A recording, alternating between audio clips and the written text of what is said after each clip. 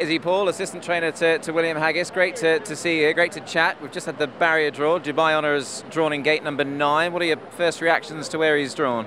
Uh, it's obviously not ideal, um, but you know, he's Romantic Warrior's in 10 so hopefully we've got we've got that angle covered uh, and the rain keeps coming down so uh, that's kind of the thing we're most excited about how big a positive is that for your horses? You know, he's obviously got plenty of proven form on softer surfaces. Is that the sort of the factor that you're really banking on that that can bring out the best in him to, to go those couple of places better this time in?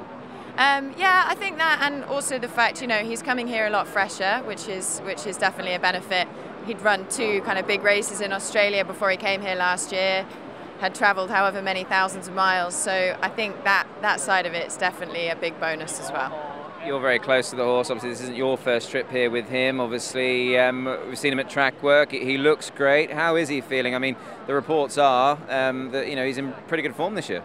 Yeah, no, he feels he feels absolutely great. Um, I had a bit of time off, uh, sort of away from him because I took a different horse down to Australia, but. Um, yeah, the guys at home have done a fabulous job as ever, and um, no, he's feeling in great form, looking in great form, so everything's positive.